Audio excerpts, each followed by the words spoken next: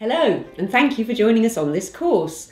I'm Penny, co-founder of the Artisan Bakery School and chief taster of All Dragan's wood-fired breads and pizzas. Before we start making anything, the first thing to do is head over to the list of materials and tools you will need to complete this project. It's all very simple and basic, but if you're missing that bit of wood halfway through, it's just annoying to have to stop and go to the hardware store.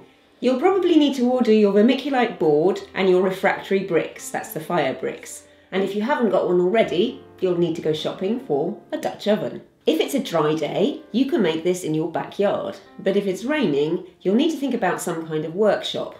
Or, if the person you live with doesn't object, the kitchen table. The great thing is, once you've got all your stuff together, you can finish this in an afternoon. Just as important as constructing the hearth is learning how to make great pizza and bread to bake in it. You'd be amazed how many people make huge efforts to build a full scale wood fired oven without the least idea how to make a decent pizza.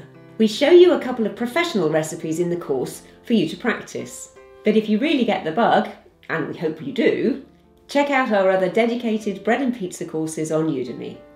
Right, I'm going to hand you over to Dragan now. Let's fire away.